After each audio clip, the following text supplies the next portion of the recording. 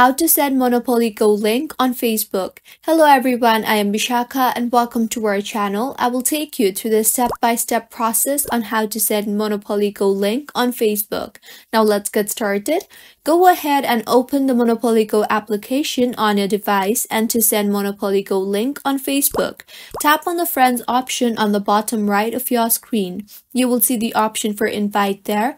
Tap on that and then go ahead and tap on the invite option in blue color in order to send Monopoly Go link on Facebook. In the pop-up that appears asking Monopoly Go wants to open Messenger, tap on the open option and then go ahead and select the individual you want to send Monopoly Go link to. Now tap on the send option and then tap on the done option and with this the link will be sent. So this is how you can send Monopoly Go link on Facebook. If you find this tutorial helpful do subscribe to our channel. Thank you for staying with us until the end.